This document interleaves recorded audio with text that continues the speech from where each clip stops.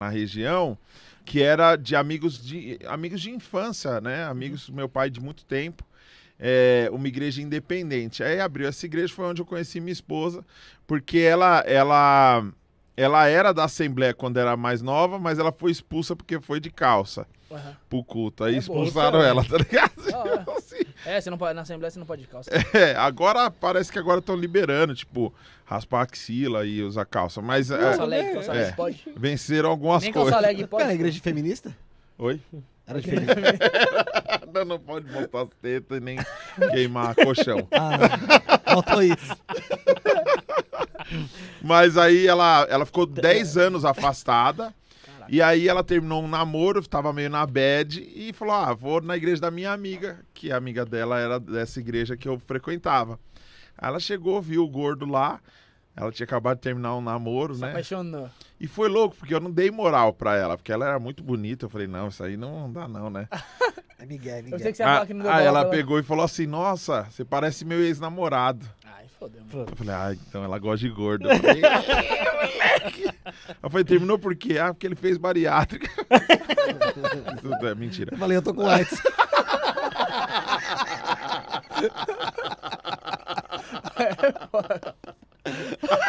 Até a risada dos caras é igual. Aí a gente começou a namorar. E eu era virgão, né, mano? Virgão, velho.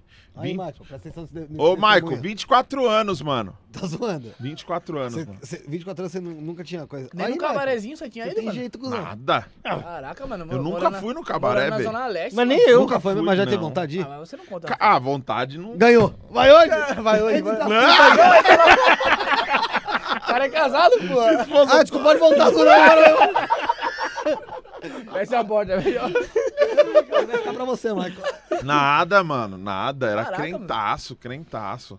Só que assim, eu não, cas- eu não, eu não fiz depois do casamento, fiz antes. Eu, eu casei porque eu fiz, velho.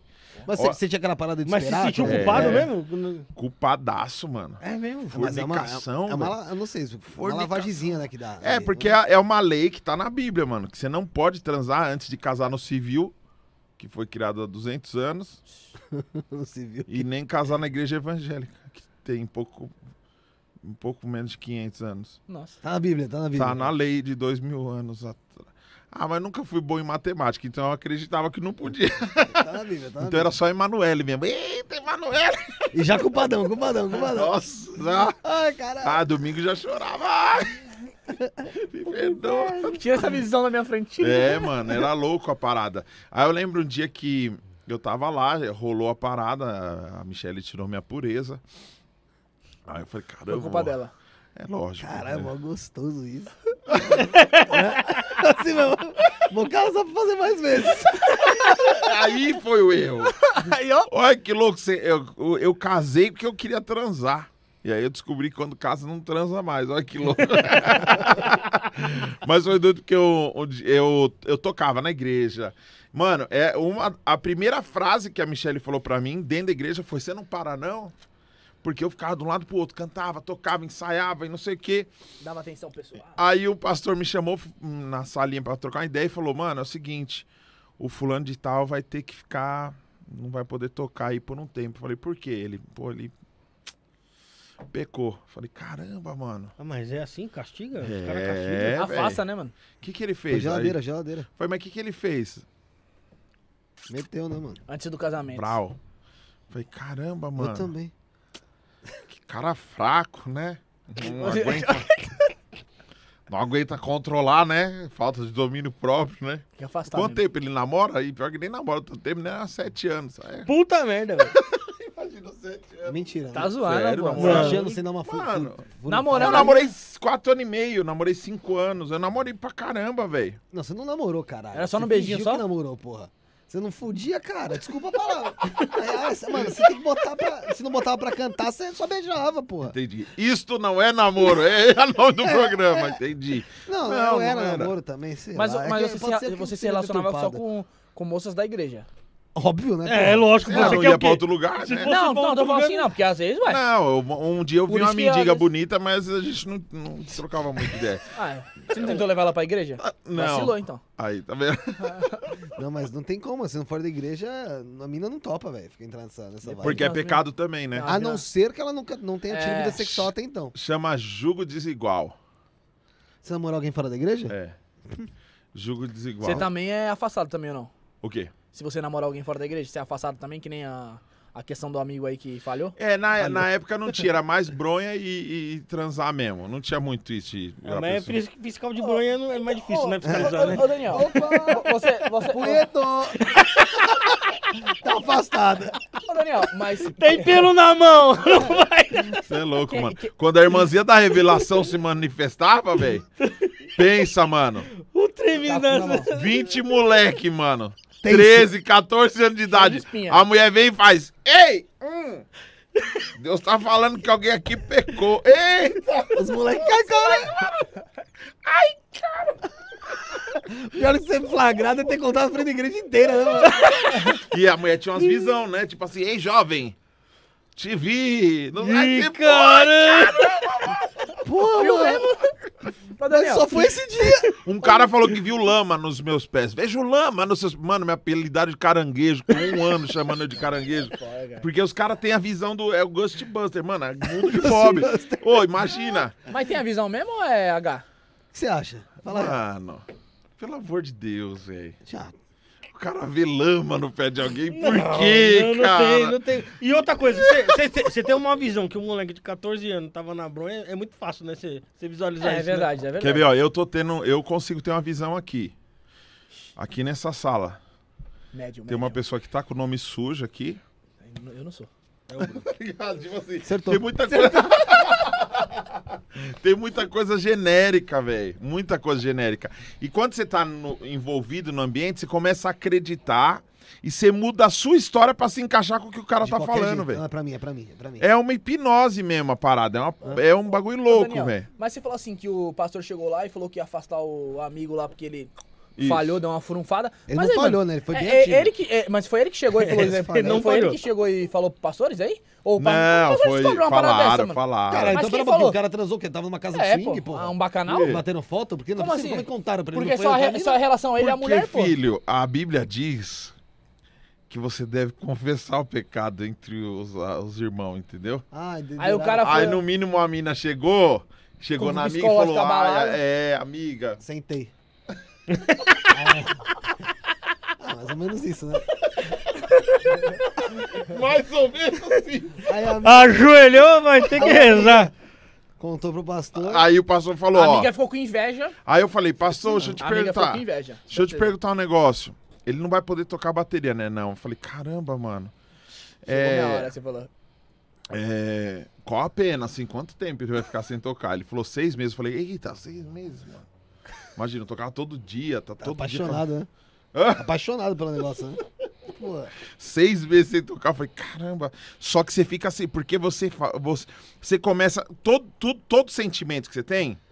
É igual esse negócio, que é uma coisa que todo mundo faz, não precisa ser crente. Hum, arrepiei aqui. Mano, você arrepiou porque tá com frio, você arrepiou porque você Quando cara lembrou de um- alguma coisa que não. te emocionou. Quando alguém dá Nem sempre significa que, mano, ai, o É. espírito de alguém encostou em mim Uhum. aqui, velho. Aí eu peguei e falei, caramba, velho, seis meses. E eu fiquei com um peso assim que eu falei, mano, eu tenho que falar, eu tenho que falar, mano. Porque o cara vai ser preso e eu vou ficar aqui solto, né, mano? sim. Pastor, preciso te falar um negócio aí, meu. Ele, o que, que foi? Eu falei, ah, sabe a Michelle, mano? Ele sei, então. Fogo, né, mano? Nós também, pá. Falou mesmo. É, falei, aí ele. Pô, não tem mais ninguém pra tocar. Não tem mais bateria. Não tem mais baterista, fodeu. Fala, te perdoei. Não conta pra Você ninguém. Não falou nada, hein? Sai da minha sala. Isso não aconteceu. Só que eu não era só um bat... eu não era batera. Eu tocava, eu ensaiava a galera, eu batera tinha um monte, Você inclusive. era braço direito do cara, Você é pique o cara do samba lá, o é, per- percussionista, né? Que fala que toca todos os instrumentos. Então, eu, fa... eu, eu, eu cuidava da banda da igreja. Você não tocava. Então não só. é só um músico, é o cara que organiza o ensaio, é o cara que faz. É, é muito mais útil do que só um músico. Um músico você troca um, põe o outro. Sim. O cara pegou e fez assim: caramba, velho. Aí você me fodeu. Sabe o que ele falou? Ele pensou um pouquinho e falou assim, ó, sem zoeira, mano. Ele falou assim, mas veja bem, você confessou.